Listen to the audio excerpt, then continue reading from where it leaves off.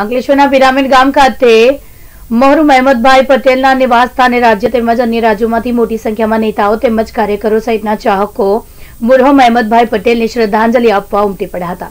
તેમજ ગુજરાત કોંગ્રેસના ધારાસભ્યો પણ આવી પહોંચ્યા હતા અને તેમના પરિવારને મળી સાંત્વના પાઠવી હતી.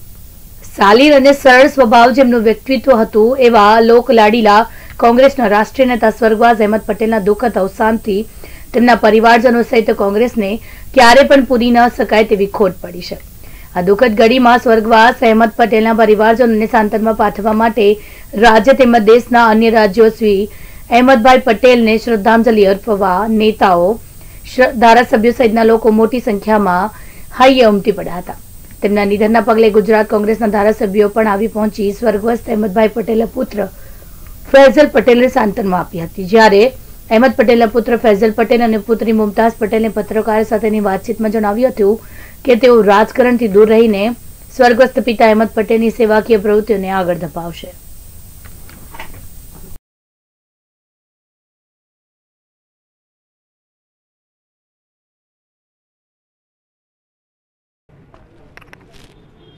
આદરણીય અહમદભાઈ એક એવું નેતૃત્વ અને વ્યક્તિત્વ હતા એમણે રાજકારણથી ઉપર ઉઠીને દરેક કાર્યકર્તા અને આમ જનતા સાથે એક પારિવારિક નાતો કેળવ્યો હતો. દરેકની સાથે સુખ દુઃખમાં એમની પડખે ઊભા રહ્યા હતા, મદદને માર્ગદર્શન કરી હતી.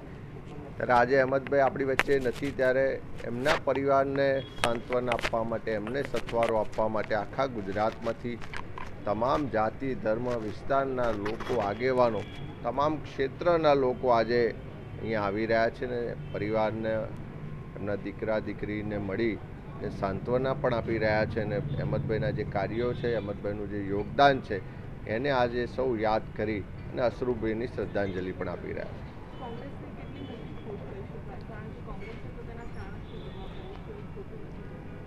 અહેમદભાઈ કોંગ્રેસના તો નેતા હતા જ પણ સાથે સાથે લોકનેતા હતા. કોઈ રાજકારણથી ઉપર ઉઠીને એક અજાત શત્રુ તરીકે જાહેર જીવનમાં ખૂબ લાંબો સમય એમણે સેવા આપી છે. એ ગુજરાત માટે હોય, દેશ માટે હોય, સમાજના નાનામાં નાના માણસ માટે હોય, હંમેશા ક્રાઇસિસના સમયમાં સથવારો બન્યા છે ક્રાઇસિસના મેનેજર બન્યા છે અને અનેક કપરા સંજોગોમાં એમનું યોગદાન આજે નહીં, વર્ષો સુધી યાદ રહેવાનું છે.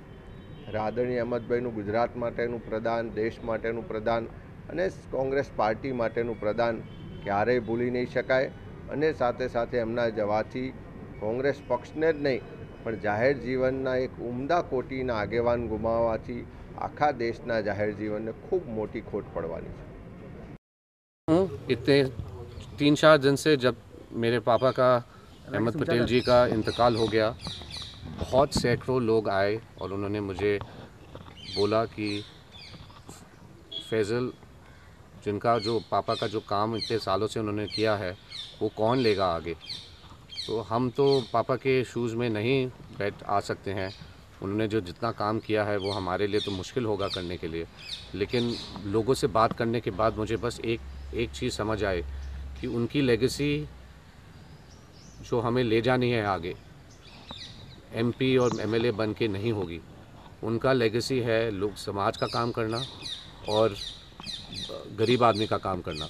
और यही मेरी और मेरी बहन मुमताज़ हम दोनों यही आगे करना चाहेंगे मैं शुक्रिया अदा करता चाहता हूँ सब लोगों का कि उन्होंने पापा की का पापा की श्रद्धांजलि में इतना सपोर्ट दिया अ, और मुझे आशा है कि हम लोग पापा का काम और भी आगे बढ़ाएं धन्यवाद પિતાજી માટે અ, અપાર પ્યાર મેં पाँच દિવસથી અ, જો જોયું છે अ, मैंने मेरे पिताजी को खोया है पर हमें अब समझ आ रहा है कि सिर्फ़ मैंने ही नहीं, पर कितने लोगों ने एक भाई, एक परिवार का मुखिया, एक पिता समान शख्सियत खोया है। लोग आ रहे हैं, लोग रो रहे हैं और हमें उन्हें संभालना पड़ रहा है। इतना प्रेम इतना प्यार देखकर दिल भर आया है। फैसल और मैं समझे हैं कि पापा को जिस तरह शायद दिल्ली में देखते थे, एक बड़े शख्सियत की तरह, वो मेरे पापा की पहचान नहीं है। यहाँ पे पापा ने इतने लोगों का दिल छुआ है, जितने लोगों के लिए काम किया है।